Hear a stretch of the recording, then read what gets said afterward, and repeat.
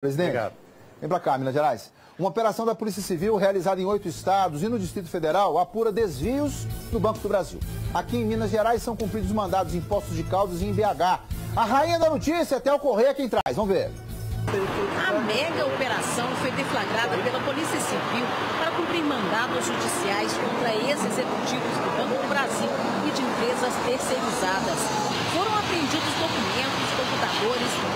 e presas pessoas suspeitas de envolvimento no esquema de desvio e lavagem de dinheiro que resultou no prejuízo de cerca de 30 milhões de reais aos cofres do Banco Estatal entre 2017 e 2018. Durante a investigação foram identificados os responsáveis pelo desvio de mais de 15 milhões e 700 mil reais e a Justiça já determinou o bloqueio.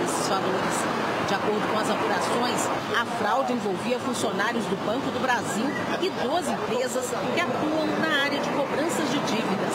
Desvio de dinheiro público caracteriza crime de peculato. Em Minas, a operação aconteceu na cidade de Poços de Caldas, no sul do estado, e na capital. Em Belo Horizonte, policiais da primeira delegacia de furtos e roubos ligada ao Depatre cumpriram mandados de busca e apreensão em dois endereços. No escritório da empresa, no centro da capital, foram apreendidos documentos e computadores. O outro mandado era para o endereço onde mora o empresário. Lá foi apreendida essa caminhonete. O homem de 41 anos não foi localizado, mas acabou sendo preso no interior de Minas. Em Poços de Caldas foram cumpridos dois mandados de prisão e três de busca e apreensão. Os presos foram levados para Brasília, onde se iniciou a investigação. Os outros alvos foram buscados em São Paulo, Rio de Janeiro, Mato Grosso, Goiás, Santa Catarina, Paraná, Pernambuco e no Distrito Federal.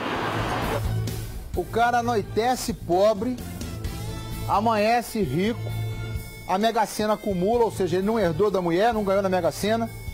Aí quando você vai apertar um bocadinho, o suor não cai do rosto dele. Quando você vai apertar um bocadinho, o cara é, ó, Label. Tá dando uns black aqui em mim, é isso mesmo?